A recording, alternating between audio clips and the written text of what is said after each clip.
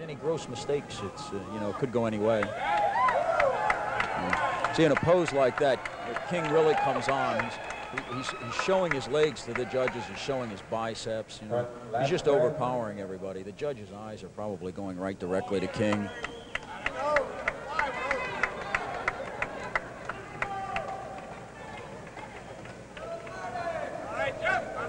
I think even the audience has a feeling, you know, that this, this might go King's way. Great, great abdominal development on all of them, all of them. But you notice King is sticking that leg right out, showing it right to the judges at the same time as he flexes the abs. Now this is all leg. There's nobody up there that's going to compare to his legs. Nobody. Nobody in this whole competition. Relax. Quarter turn to the right.